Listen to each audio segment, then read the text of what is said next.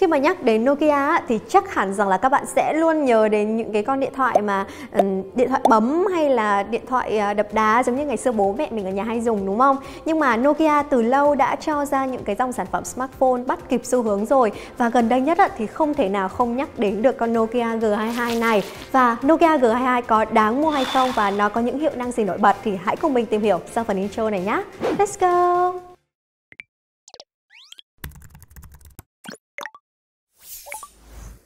Nói ra thì chắc chắn các bạn sẽ phải bất ngờ luôn, bởi vì em này có cái mức giá siêu hời, Thêm nữa là đang được giảm giá 7% chỉ còn 3 triệu 690 ngàn khi mua trực tiếp tại cửa hàng khi mua online thì sẽ được giảm 14% thì giá chỉ còn 3 triệu 430 ngàn đồng. Với hai phiên bản màu sắc là màu xanh và màu xám, và cái phiên bản ngày hôm nay mình sử dụng đó sẽ là phiên bản màu xám. Với một cái mức giá phải nói là quá rẻ đi, đúng không? Vậy thì cái mức giá rẻ như vậy, em nó sẽ thể hiện như thế nào thì hãy cùng mình đi tiếp nha. Cái điều mình ấn tượng nhất về em này á, thì có lẽ đó là phần thiết kế. Nokia G22 sở hữu cái thiết kế khá là sành điệu và mới mẻ. So với phiên bản tiền nhiệm G21 á, thì cá nhân mình cảm thấy em này cầm nắm thoải mái hơn rất nhiều. Các góc cạnh được bo góc mềm mại và tinh tế. Trọng lượng khoảng 196 gram. Nó sẽ lớn hơn cái bản tiền nhiệm một chút khoảng 6 gram. Bề dày là 8,48 mm. Nói chung là cũng vừa phải. Mặt lưng kính và khung viền nhựa trông cũng khá là sang trọng. Tuy nhiên á, chỉ có một cái điều này thôi, đó sẽ là nó ra mồ hôi một chút nha nhưng mà mình có thể khắc phục phần này bằng cách sử dụng ốp lưng này cụm camera sau thì được làm nổi lên so với mặt lưng và được thiết kế phá cách theo kiểu bậc thang ấy nhìn vô thì phần này cũng giống như được làm bằng kim loại nhìn cũng rất là sang và lạ mắt. Những chi tiết xung quanh như là nút tăng giảm âm lượng, nút nguồn và ở phần nút nguồn này thì sẽ được thiết kế thấp hơn so với nút tăng giảm âm lượng và đây cũng sẽ là nơi cảm biến vân tay, khá là xịn sò nha. Còn cả à, check cắm sạc, check tai nghe, loa Mọi chi tiết nhỏ trên Nokia G22 đều được gia công tỉ mỉ và đem đến một cái vẻ đẹp thanh lịch và sang trọng cho máy. À, còn một cái điểm nữa mình cảm thấy nó khá là thú vị ở Nokia G22 đó chính là dễ dàng sửa chữa. Thì các bạn có thể mua cái bộ phụ kiện sửa chữa và cái linh kiện thay thế từ iFixit, từ đó các bạn có thể là sửa chữa nhanh chóng hơn, khá là tiện ích nhỉ. Nói chung là với cái phân khúc giá rẻ như vậy nhưng mà Nokia G22 đã mang đến một cái thiết kế khá là chỉnh chu và tỉ mỉ cũng không có thua kém gì những con thuộc phân khúc giá tầm trung khác đâu. Về phần màn hình thì cũng như những thiết kế thông thường thôi, màn hình giọt nước 6,5 inch, viền dưới thì à, hơi dày một chút nhưng mà nhìn chung thì cũng vẫn ổn nha. Sử dụng tấm nền IPS LCD với độ phân giải HD và tần số quét 90 Hz. Thêm vào đó là độ sáng tối đa 500 nits.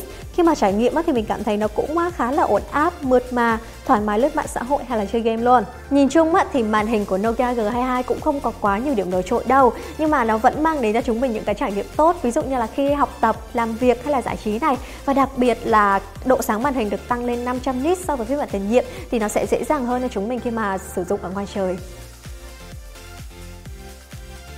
Nokia G22 được trang bị một viên pin dung lượng khá là lớn đó là 5050 mAh và hỗ trợ sạc nhanh 20W. Thì với cái viên pin này cho chúng ta thoải mái học tập, làm việc và giải trí giống như là lướt mạng xã hội, chơi game hay là chụp ảnh trong cả một ngày dài luôn. Theo những cái trải nghiệm của mình thì khi mà mình sử dụng viên pin này từ 100% thì phải mất đâu gần 9 tiếng mới có thể xài hết được em pin này.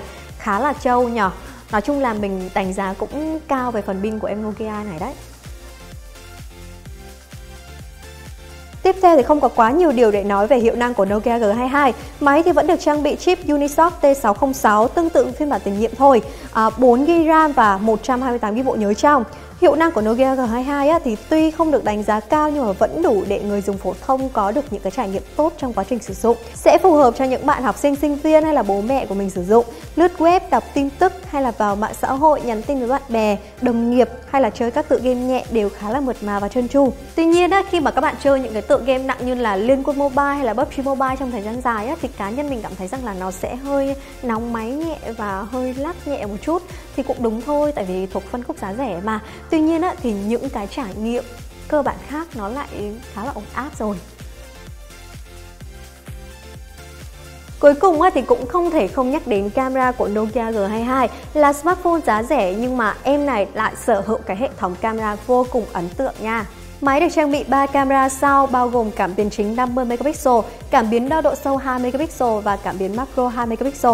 Với hệ thống camera như vậy á, thì Nokia G22 hoàn toàn đáp ứng được nhu cầu chụp ảnh của người dùng luôn. Camera selfie 8 megapixel hỗ trợ tốt chụp ảnh chân dung hoặc gọi video cũng rất là ổn áp luôn. À đây là những cái bức ảnh mình tự chụp thì em này cho ra cái nước ảnh cũng khá là bắt mắt và rõ nét, có hỗ trợ chụp chân dung hay là ban đêm luôn. Nhìn chung á, thì à, vẫn ổn áp nha. Ảnh selfie thì cũng à, không được xuất sắc lắm, khuôn mặt vẫn rõ nét, vẫn có hỗ trợ làm đẹp các thứ cho chị em mình luôn. Nhưng ở phân khúc giá như vậy thì mình cũng hài lòng rồi, không đòi hỏi quá nhiều về em này đâu. Nói tóm lại thì với một con Nokia G22 thuộc phân khúc giá rẻ như vậy hỏi mình là có đáng mua không?